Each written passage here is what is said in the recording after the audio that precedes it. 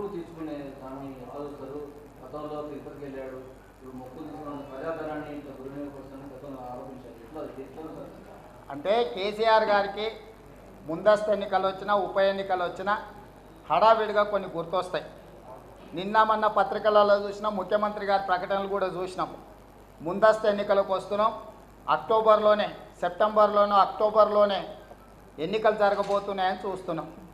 ఎన్నికలు వచ్చిన సందర్భంలోనే కేసీఆర్ గారికి కొండ మీద ఉన్న అమ్మోరు గుర్తొచ్చిండ్రు కొండకి కొండ కింద ఉన్న కమ్మోరు గుర్తొచ్చిండ్రు. నాలుగున్నర సంవత్సరాలు అయింది ముఖ్యమంత్రి అయి దాదాపుగా. ఎప్పుడు కూడా అమ్మోరు గారి ముక్కు పుడక గుర్తు రాలేదు. నిజంగానే కేసీఆర్ గారు అమ్మోరికి ముక్కు పుడకనే చేయాలంటే జూబ్లీ హిల్స్లో పెద్దమ్మ తల్లి ఉంది బల్కంపేటలో ఎల్లమ్మ తల్లి ఉంది ఊరూరులో పూచమ్మ తల్లులు ఉన్నారు. తెలంగాణలో ఇంతమంది తల్లులు ఉన్నా మనకెవ్వరికి ముక్కు పుడకలు కాదు కదా. అమ్మకు అన్నం పెట్టినోడు అంటే చిన్నమ్మకు బంగారు గాజులు చేపిస్తాడు అన్నట్టుగా ఉంది.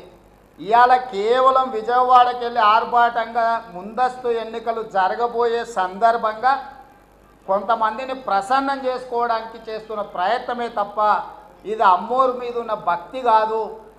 ఓట్ల కోసం పడుతున్న తాపత్రయము చిత్తం శివుడి మీద భక్తి చెప్పుల మీద అన్నట్టుగా ఉంది. గుడి బయట ఇప్పి ఇప్పిన చెప్పులు అంటే గుళ్ళకు పోయినాక దేవుడికి మొక్కుతున్నా. అరే నా బయట చెప్పులు ఉన్నాయా? ఎత్తుకుపోయారు చెప్పులు ఎవడన్నా నాకు తీసుకుపోయినా నేనేమను అని ఎత్తుకుపోవడానికి కొత్త చెప్పులు దొరుకుతాయా లేదా అని ఆలోచన చేసినాడు దేవుడి మీద చిత్తం పెట్టకుండా. కేసీఆర్ కూడా విజయవాడ పర్యటన అమ్మోరి ముక్కు పుడకను మనం ఆలోచన చేస్తే ఎన్నికలు దగ్గరకు వచ్చినాయి కాబట్టి అమ్మోరి ముక్కు పుడక ద్వారా కమ్మూరిని ప్రసన్నం చేసుకోవడానికి చేస్తున్న ప్రయత్నంగానే చూడాలి తప్ప ఇది ఒక చిల్లర ప్రయత్నమే తప్ప ఆ తల్లి మీద ఉన్న భక్తి కాదు. తెలంగాణకు పెద్ద ఉపయోగం లేని